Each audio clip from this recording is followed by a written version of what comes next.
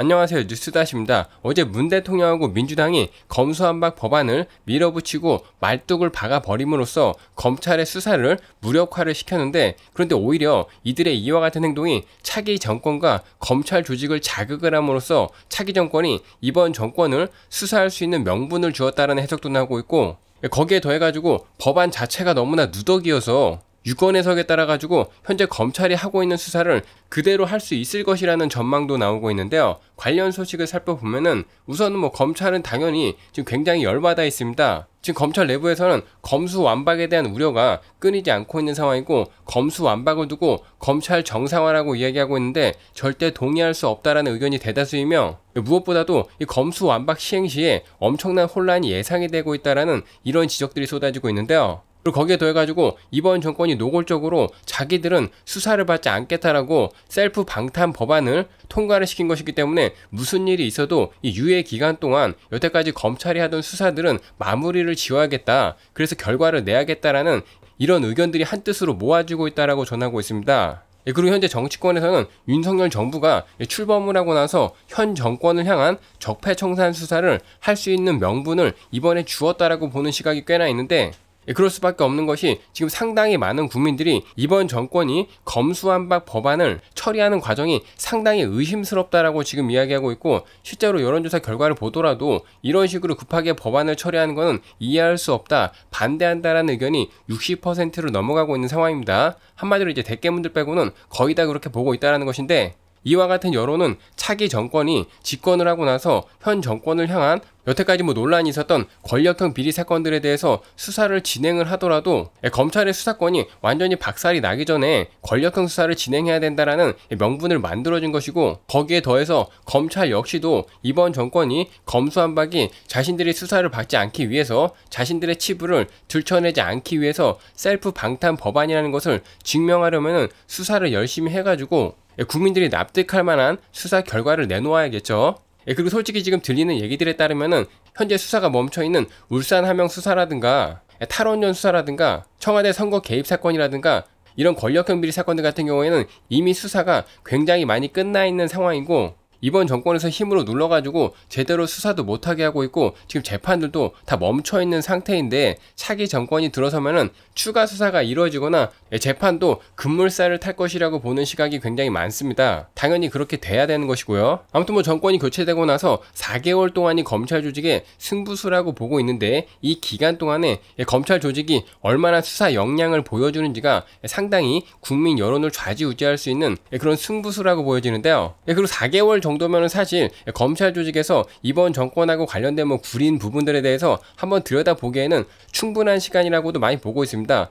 특검 같은 경우에도 이게 100일인가 110일 정도의 기간을 가지고 수사하는 것인데 검찰 조직에게 4개월 정도면은 사실 뭐 시간만 따지면 그다지 짧은 시간은 아니다라고 볼 수가 있는 것이죠. 물론 어떤 결과를 내냐에 따라 좀 달라지겠지만 그리고 한편 이재명하고 문재인 정권의 가장 큰 의혹 중의 하나인 대장동 사건하고 블랙리스트 사건 같은 경우에는 검수한박 법안이 처리됐음에도 불구하고 검찰의 수사권을 뺏지 못할 것이라는 전망들이 나오고 있는데 예, 그 이유는 이 법안이 너무나 누더기인데다가 이게 유권 해석을 하면 할수록 구멍이 너무나 많아가지고 허점이 보인다라고 이야기하고 있습니다. 실제로 검찰 측에서는 현재 수사 중인 사건은 유예 기간하고 상관없이 경찰 등 타 기관으로 넘기지 않고 끝까지 마무리한다라는 방침을 밝히고 있고 검수한 바 개정안을 보면은 사건을 경찰로 넘긴다라는 경과 조치 관련해가지고 부칙이 빠져버리면서 기존의 수사 중인 사건의 기속력은 검찰에 있다라는 해석이 나왔는데요. 그리고 서울중앙지검은 현재 대장동 개발 사업 윗선 의혹이라든가 삼성 웰스토리 부당 지원 의혹 등 굵직한 사건을 수사하고 있고 서울 동부지검은 수사권 조정 당시에 6대 범죄로 수사 범위가 축소됐을 때도 기존의 사건은 계속 수사를 진행을 했다면서 이번에도 전례를 이어갈 것이라고 이야기했고 윤석열 정부 출범 이후에 검찰의 수사권 대상이 2대 범죄보다 실질적으로 확대될 수 있다는 관측도 나오고 있는데 개정 검찰청법을 보면은 검찰의 수사 범위를 부패 범죄, 경제 범죄 등 대통령령으로 정하는 중요한 범죄로 규정을 하고 있는데 새 정부가 대통령령을 고쳐가지고 부패, 경제 범죄의 범죄, 선거, 공직자 범죄 등까지 포괄하는 내용을 담으면은 검찰의 수사 범위를 넓게 해석할 수 있는 여지가 생긴다라고 보고 있습니다. 네, 그리고 실제로 이번에 윤석열 당선인 측에서 이번 정권에서 검수한 박을 한 것을 다시 되돌리는 것을 국정 과제에다 넣을 정도로 검찰 정상화를 지금 이야기하고 있기 때문에 현재 이야기가 나오고 있는 이런 내용들 같은 경우에는 현실화될 가능성이 굉장히 큰데요. 그리고 재경지검의 한 부장검사 같은 경우에는 부패 경제 범죄라고 딱 자르기가 어려운 사건들은 검사들이 수사 및 기소 범위를 넓게 적용할 가능성은 분명히 있다라고 보고 있으며 법안에 담긴 등이라는 표현을 놓고 많은 논란이 있기 때문에